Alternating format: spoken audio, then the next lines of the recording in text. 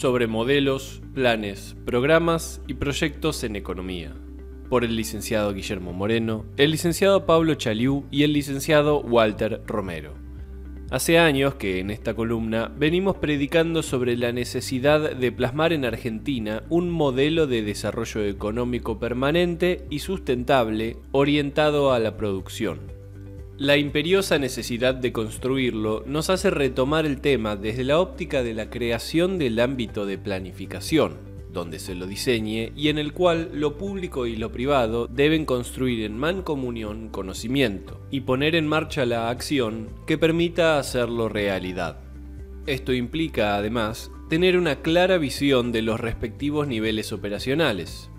el plan de alcance global que hace referencia a decisiones de carácter general, constituyendo el espacio de ordenamiento superior, los programas, como conjunto coordinado de proyectos orientados a realizar los objetivos del plan y suponen una integración armónica de estos, y los proyectos, que tratan de la articulación de un conjunto de actividades que combinando los recursos se realizan con el propósito de obtener resultados tangibles.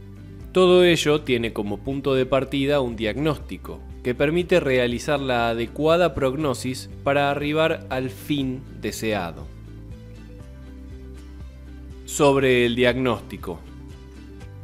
En Ay, Patria Mía, publicada en BAE Negocios el 2 de mayo de 2018, expresamos. La Argentina de mayo de 2018 se enfrenta a un escenario en el que convergen los desequilibrios fiscales de 1989, que terminaron con la gestión de Raúl Alfonsín, con los del sector externo de 2001, que significaron la conclusión del gobierno de Fernando de la Rúa por lo que ambos fenómenos se potencian mutuamente generando las condiciones de supercrisis. Esta condición es la que recibió cual presente griego el gobierno que asumió en diciembre de 2019. En este marco, correctamente priorizó su accionar hacia los sectores de menores recursos, pero los elementos claves, generadores de la situación heredada, ahora en un entorno pandémico, permanecieron sin ser resueltos, por lo cual el cuadro empeoró de modo extremo.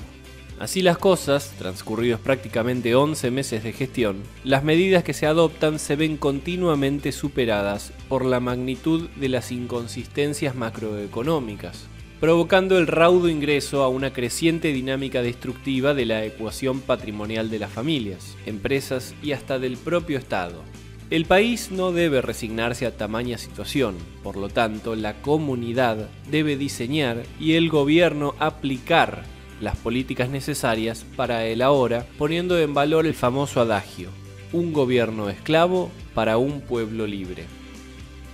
Sobre la prognosis.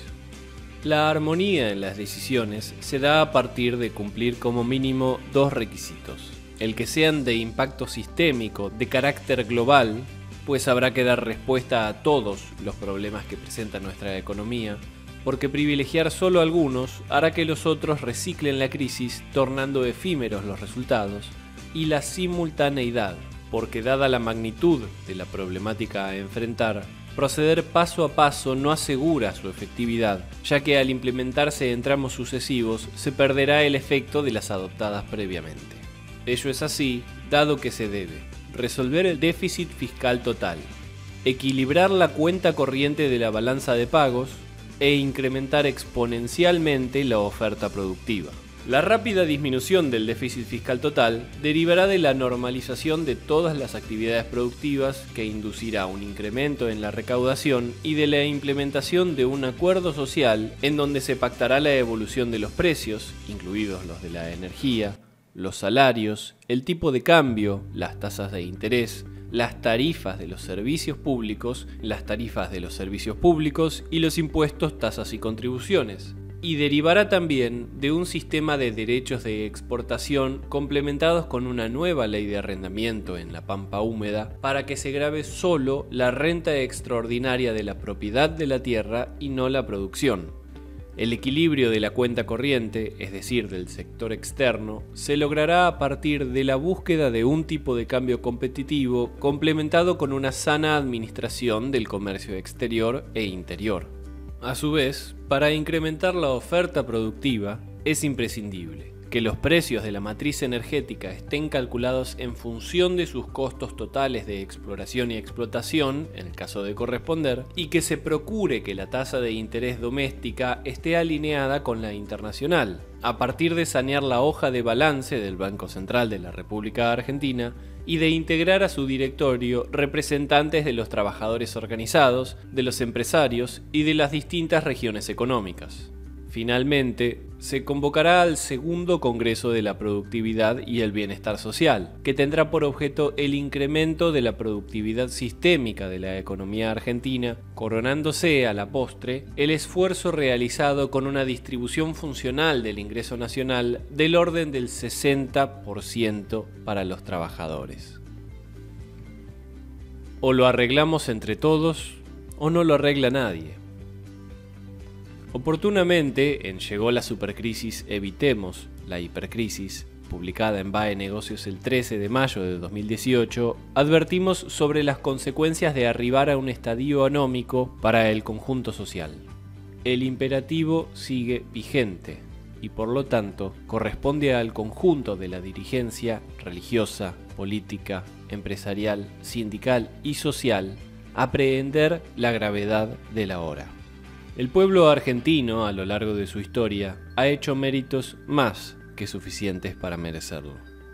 Y no hay que olvidar que en su sentir profundo está presente aquel apotegna señalado por el Papa Francisco. La unidad prevalece sobre el conflicto. Sobre modelos, planes, programas y proyectos en economía. Por el licenciado Guillermo Moreno, el licenciado Pablo Chaliú y el licenciado Walter Romero.